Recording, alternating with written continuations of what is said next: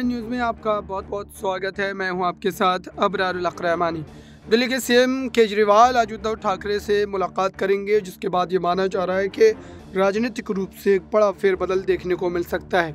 आप नेताओं ने आगे बताया कि केजरीवाल की मुंबई यात्रा के दौरान पंजाब सीएम भगवंत मान भी साथ रहेंगे। उद्धव ठाकरे और केजरीवाल जो है ठाकरे के आवास पर ही मुलाकात करेंगे। बैठक के दौरान आप सांसद संजय सिंह और राघव चड्डा के साथ साथ दिल्ली के कैबिनेट मंत्री आतिशी भी मौजूद रहेंगी।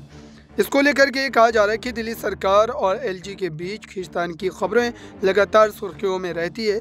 दिल्ली में नौकरशाहों के ट्रांसफ़र, पोस्टिंग का अधिकार, एलजी को दिए जाने के केंद्र सरकार के अध्यादेश के खिलाफ बवाल मचा हुआ है। दिल्ली के सीएम अरविंद केजरीवाल अब विपक्षी नेताओं का समर्थन के लिए प्रयास कर रहे हैं। आप नेताओं के बुधवार को दिल्ली के सीएम केजरीवाल और महाराष्ट्र के पूर्व मुख्यमंत्री उद्धव ठाकरे के साथ मुलाकात करेंगे।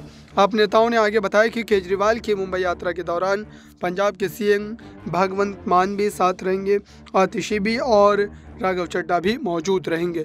दरअसल इस अध्यादेश को लेकर के आम आदमी पार्टी के संयोजक अरविंद केजरीवाल का मानना है कि केंद्र की सरकार लगातार अपने, जो है, ताकतों का दुरुपयोग कर रही है।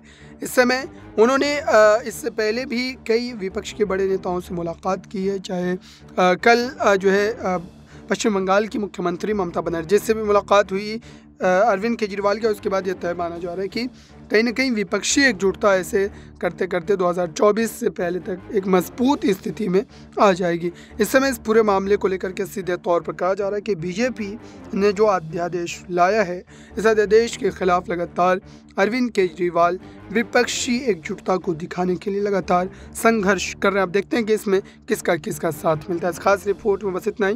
देखते रहिए ताज़ा तरीन खबरों के लिए नेक्स्ट नाइन न्यूज़ को। धन्यवाद।